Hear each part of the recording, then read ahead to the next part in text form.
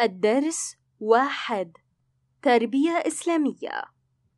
المستوى السنة الأولى من التعليم الأساسي. نوع الدرس هدي قرآني. اسم الدرس الفاتحة. أهلا بكم أصدقائي. لا شك أنكم شارعتم في تعلم القرآن الكريم بالمدرسة. لذلك نلتقي اليوم لنتعلم سورة الفاتحة مع صديقتنا الصغيرة لمياء. فهيا نتابع الحكاية لنستكشف المعاني ونستخلص العبرة. تهيئة. سمعت لمياء أباها يتلو آيات من القرآن الكريم فتأثرت وقالت لقد أخبرتنا المعلمة أننا سندرس سورة الفاتحة. فهلا علمتني إياها يا أبي؟ طبعا يا بنيتي. هيا رددي معي. يتلو بتأن ووضوح. بسم الله الرحمن الرحيم. الحمد لله رب العالمين. الرحمن الرحيم. مالك يوم الدين. إياك نعبد وإياك نستعين. اهدنا الصراط المستقيم. صراط الذين أنعمت عليهم. غير المغضوب عليهم ولا الضالين. جميل ما قرأت يا أبي لكني لم أفهم هذا الكلام. حسنا يا بنيتي. هذه السورة اسمها الفاتحة لأنها أول سورة يبدأ بها المصحف وأول ما نتلوه من الكتاب العزيز وأول ما يفتتح به المسلم صلاته. رائع! اذا لابد أن لهذه السورة فوائد كثيرة لما نقرأها. أحسنت يا بنيتي. هي سورة عظيمة في معانيها وثوابها. المعاني الآية واحد. تبدأ السورة بحمد الله وشكره على نعمه الكثيرة. الآية اثنان هو الرحمن الرحيم أي وسعت رحمته كل شيء. الآية ثلاثة وهو الذي بيده ميقات يوم القيامة. الآية أربعة. الإنسان يخص الله وحده بالعبادة وطلب العون والمساعدة. نطلب من الله أن يدلنا إلى عمل الخير ويرشدنا إلى الأعمال الصالحة.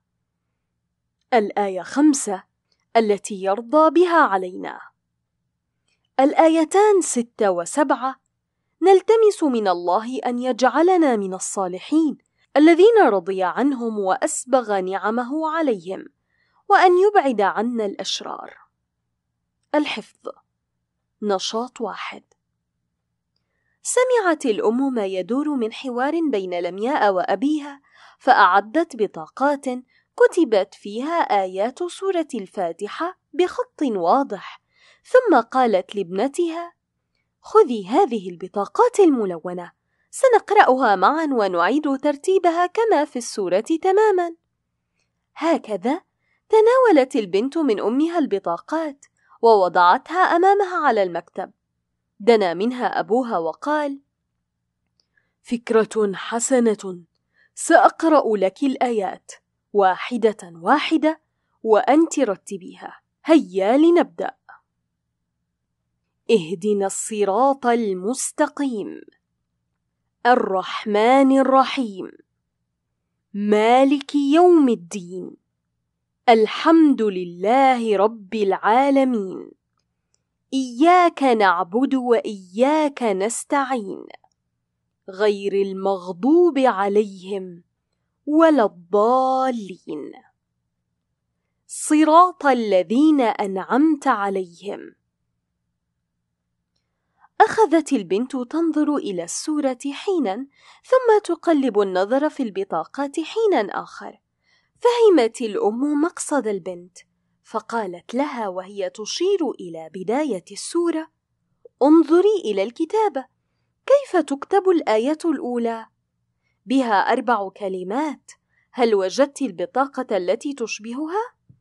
قلبت البنت النظر مرات عديدة وهي تتفرس في البطاقات والصورة مرات وتكرارا ثم صاحت. وجدتها! نعم تشبهها. إنها البطاقة البرتقالية. اقرأيها لي يا أمي لو سمحتي. طبعا هيا قولي معي. الحمد لله رب العالمين. الحمد لله رب العالمين. هتف الأب قائلا رائع أحسنت يا ابنتي. هيا لنجد بقية الآيات. وهكذا أخذت لمياء تكتشف السورة آية آية حتى توصلت لترتيب كل البطاقات. هكذا. بسم الله الرحمن الرحيم. الحمد لله رب العالمين. الرحمن الرحيم. مالك يوم الدين. إياك نعبد وإياك نستعين. اهدنا الصراط المستقيم. صراط الذين أنعمت عليهم غير المغضوب عليهم ولا الضالين.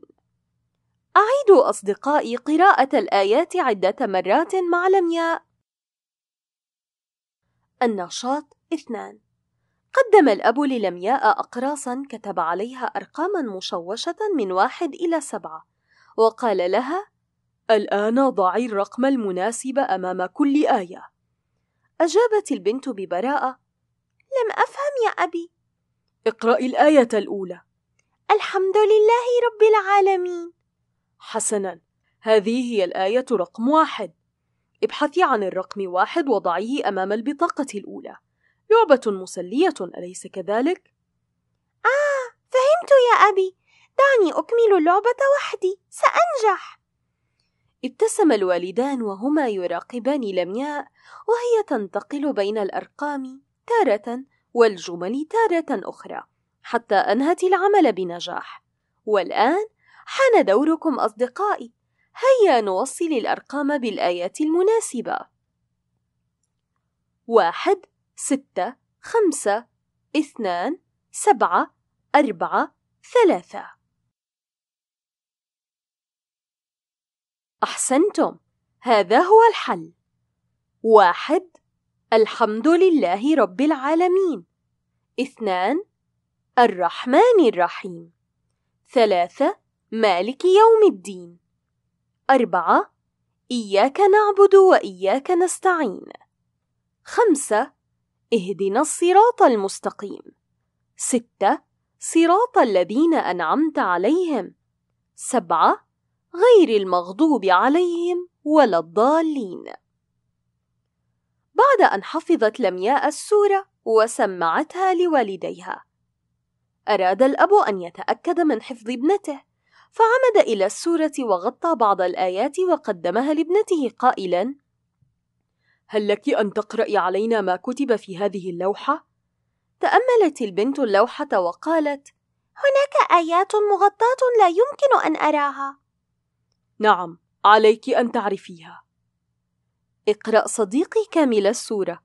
هل عرفت كل الآيات؟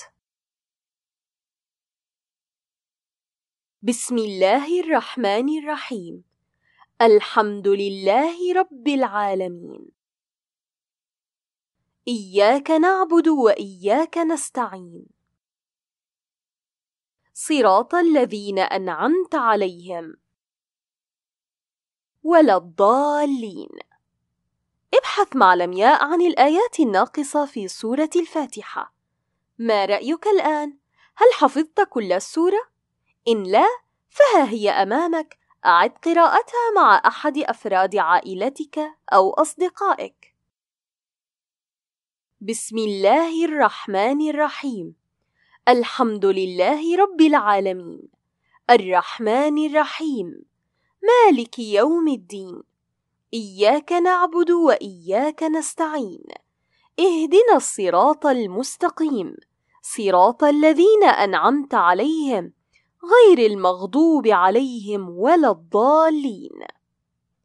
اطبع سورة الفاتحة والصقها في كراسك ولا تنس أن تتذكرها دائما وتقرأها قبل النوم وفي الصباح عندما تستيقظ.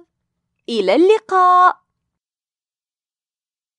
بسم الله الرحمن الرحيم. الحمد لله رب العالمين. الرحمن الرحيم. مالك يوم الدين. إياك نعبد وإياك نستعين. اهدنا الصراط المستقيم. صراط الذين أنعمت عليهم. غير المغضوب عليهم ولا الضالين.